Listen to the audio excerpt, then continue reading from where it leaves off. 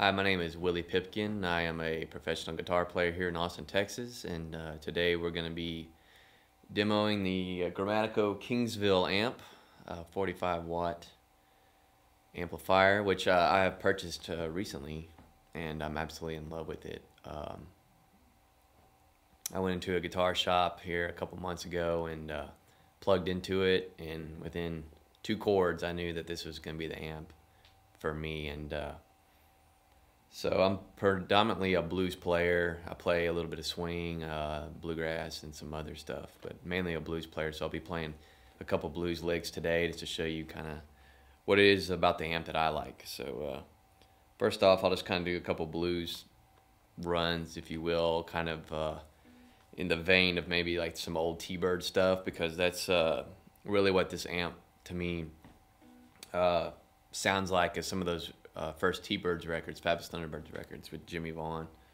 on guitar. So I'll do some of that stuff now.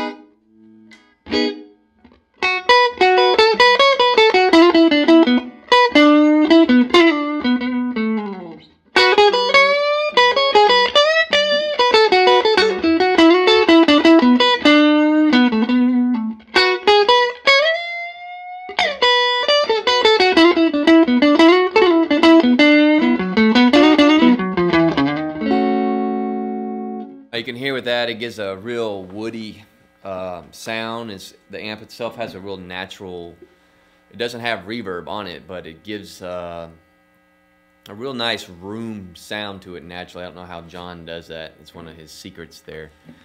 Um, but it's, it's very noticeable when you play into the amp, uh, the woodiness of it, which is just fantastic. You can hear it in the chords.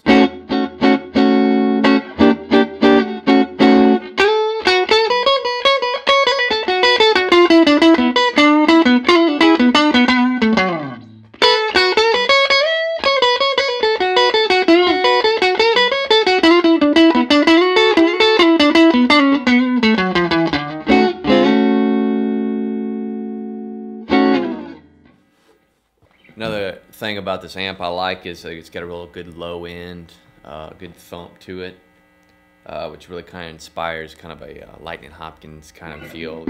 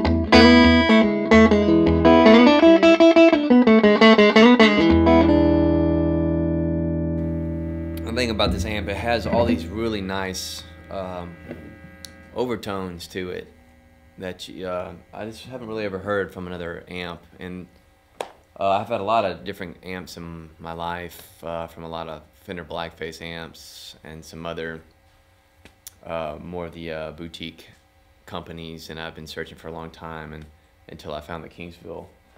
Uh, you can just hear it has these overtones that no other amp really has. So let's kind of crank it up and see what it sounds like. We're on nine, so it's gonna get loud. All right. Yeah. There. Uh, this one goes to twelve. So how about that? All right.